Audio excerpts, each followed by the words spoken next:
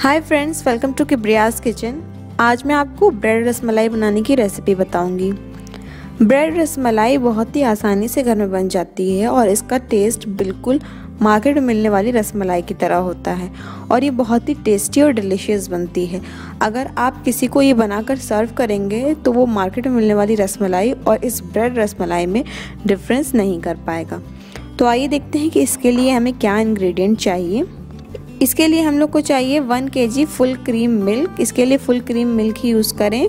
Fat free वाला milk ना use करें, वरना ये इतनी टेस्टी नहीं बनेगी। सात से आठ हम लोग को चाहिए ब्रेड के स्लाइस एक किलो दूध में सात से आठ रसमलाई बहुत आराम से बन जाएँगी। थोड़ी सी केसर चाहिए हम लोग को। थर्टी ग्राम्स तक शुगर चाहिए। और कुछ ड्राई फ्रूट्स चाहिए हम लोग को, थोड़े से काजू, थोड़े से बादाम और थोड़े से पिस्ता। इसमें से जो आपके पास ना हो, उसे आप स्किप कर सकते हैं। आप सबसे पहले एक थोड़े बड़े बर्तन में मिल्क को डालकर इसे अच्छी तरह से खौला लेंगे।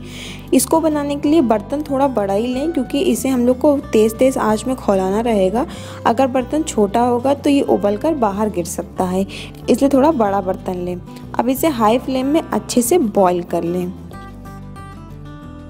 एक बार जब ये अच्छे से बॉईल हो जाए, जैसा कि आप देख रहे हैं कि अच्छे से बॉईल हो चुका है तो अब इसमें हम लोग ऐड करेंगे चीनी, जो कि है थर्टी ग्राम्स तक। अगर आप चाहें तो इसमें थोड़ी ज़्यादा चीनी ऐड कर सकते हैं, लेकिन रसमलाई का टेस्ट तभी अच्छा आता है जब इसमें हल्की सी मिठास हो। अगर ये बहुत ज़्यादा मीठी हो जाती है तो रसमलाई इतनी टेस्टी नहीं लगती, इसलिए मैं इसमें थर्टी ग्राम्स ऐड कर रही हूँ। आप फिफ्टी ग्राम्स तक ऐड कर सकते हैं, अगर आपको थोड़ा ज़्यादा मीठा पसंद हो। इसमें अब ऐड करें कुछ सैफरन के स्ट्रैंड्स जिससे इसमें बहुत ही अच्छा येलोइश कलर आएगा और बहुत अच्छी खुशबू आएगी। अब सारे ड्राई फ्रूट्स इसमें ऐड कर लें। थोड़े से ड्राई फ्रूट्स मैंने गार्निशिंग के लिए बचा के रखे हैं। बाकी सारे मैं इसमें ऐड कर रही हूँ। सारे के सारे ऐड कर दें। थोड़ा सा पिस्ता, थोड़े से बादाम और थोड़े से काजू।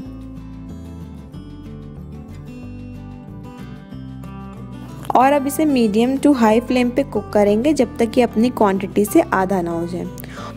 इसे बीच बीच में लगातार चलाते रहें और देखते रहें। जैसे जैसे टाइम गुजरता रहेगा, आप देखेंगे कि इसका कलर चेंज होता जा रहा है, या येलो होता जा रहा है। अब इसे कुक करते हुए 20 मिनट्स हो गए हैं और आप देख सकते हैं कि ये काफ़ी थिक भी हो गया है और इसका कलर बहुत ही अच्छा येलो सा हो गया है। इसे पाँच मिनट और कुक करेंगे और उसके बाद इसकी कंसिस्टेंसी चेक करेंगे। अब 25 मिनट हो चुके हैं। देखिए इसकी कंसिस्टेंसी बिल्कुल परफेक्ट है। ये अपनी क्वांटिटी से आधा हो चुका है और बहुत ही अच्छा कलर में हो चुका है। तो चलिए, अब हम लोग ब्रेड को रेडी कर लेते हैं। अब सबसे पहले एक ब्रेड की स्लाइस लेंगे और ग्लास की हेल्प से इसे गोल शेप देंगे। अगर आपके पास शेप देने वाले टूल्स हैं तो आप उससे भी कोई भी शेप दे सकते हैं अपनी मनपसंद का हार्ट स्टार इस तरह के जो टूल्स आते हैं। मेरे पास वो भी अवेलेबल नहीं है तो मैं इसे ग्लास से ही राउंड शेप दे रही हूँ। इसे इस तरह से जेंटली प्रेस करते हुए राउंड शेप देंगे और इसे बाहर निकाल लेंगे और उसके बाद इसे असेंबल करेंगे। अब ब्रेड की स्लाइस जो हम लोगों ने कट करी है, उसे इस तरह से प्लेट पे पहले रख लेंगे। उसके बाद जो हम लोग ने मलाई प्रिपेयर की थी, उसे इसके ऊपर इस तरह से डालते जाएँगे। इसके ऊपर पोर करते रहेंगे। ये जो मलाई है, ये अभी वार्म है, बिल्कुल ठंडी नहीं हुई है।